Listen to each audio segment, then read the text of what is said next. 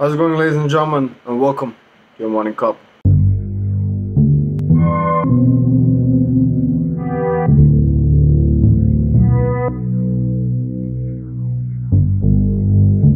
It's New Year's Eve everywhere, but a lot has happened since we last spoke. Let's just jump straight into the fact that there was an attack on the Aden airport at Yemen, and this attack was specifically targeted for the returning Yemen government that was coming back from Saudi Arabia, along with the new cabinet minister. 22 people have been killed in this attack, numerous others injured. The airport's runway was bombed, along with the terminals on the airport as well.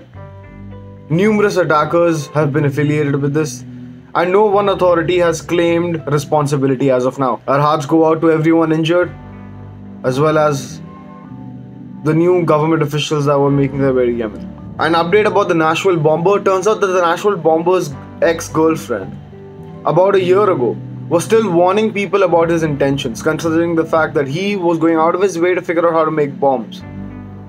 She also reported his activities to the authorities but was not taken seriously. A year later, we have one of the biggest disasters in Nashville history. Just goes to show that we need to take tip offs a little more seriously, especially in a country like the United States where access to certain things are much more easier than the rest of the world. Things like explosives, things like guns. And if we aren't on top of this, even though someone went out of their way to give a warning, then what's it all about? We move on to global warming. Well, as we have spoken about numerous times on this show, global warming has taken a ginormous toll across the globe in various aspects of the imagination. But when it comes to Siberia, it's taken a huge toll in terms of climate change there. Siberia has never seen temperatures like it is seeing today. Siberia is warming at a rate that it has never warmed before. And thereby, a lot is thawing out in Siberia. A lot of permafrost is thawing out in Siberia.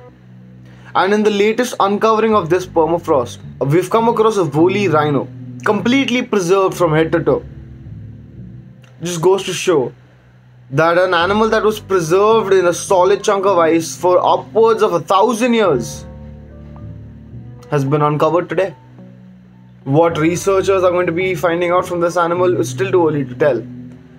But it just goes to show that there is a whole new wave of things that we have not experienced or known about and now with climate change we are right in the middle of it a 250 kilogram live bomb was found outside of an international airport in dhaka. This is the fifth time something like this has happened. A live bomb from the 1971 war still very much capable of doing ginormous damage was found very close to the airport. Officials have not put out a statement yet as to why it took them so long to figure out where these bombs have been buried. But the fact of the matter is that a country that was once engulfed in war, such things are bound to come up. It is the responsibility of the governing bodies as well as the powers that be to ensure that such bombs are extracted, such bombs are dealt with, and no threat to civil populations exist. Right next to an international airport, rather. We move on to a massive landslide in Norway. Apparently, there was a massive landslide in Norway and 10 people have been injured, with 11 people missing. Most of the houses were completely buried. People were not expecting such a thing to happen. The authorities were not expecting such a thing to happen. But it was rather quick, rather sudden, and took everyone by surprise. The authorities are still working on it, and it is a developing situation. We will keep you updated about the actual numbers of fatalities as well as injuries. We move on to the final story of the day with Ireland. Now, Ireland has faced its fair share of issues with the COVID pandemic, also with numerous other things that were happening in Ireland this year. But the latest news that's coming out of Ireland is the fact that the new coronavirus strain in Ireland has sparked such intense lockdowns that the country has gone into phase 1 lockdowns, the same lockdowns that were established in early March or May this year. The country is in severe lockdown for at least upwards of a month, authorities claim. Now, we still don't know what people are going to be like on this New Year's Eve. A lot of people across the world want to step out, a lot of people across the world want to go and do something fun. It makes sense. Putting this year behind us is very essential for us as a species.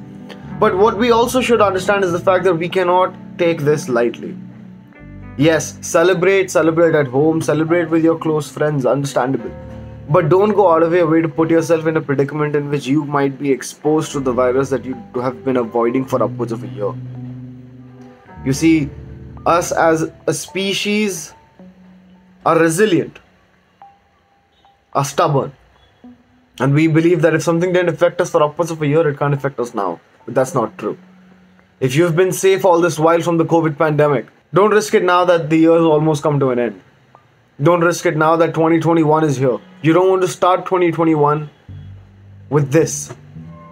Stay safe, stay home. But more importantly, be nice to someone. Be nice to each other. Be nice to the people that don't have their family around. The holidays are always tougher on people that are away from their families, tougher on the people that might not have a family anymore. You see, this pandemic has taken a lot from us, but as a species, we're stronger together. Until then, I wish everyone watching a very happy new year. Hope you guys have been safe, hope you guys have been doing well. And this will continue in 2021. Until then, I'll see you next year. This has been your morning cup. Damn, that's good coffee. Alright, I'll see you.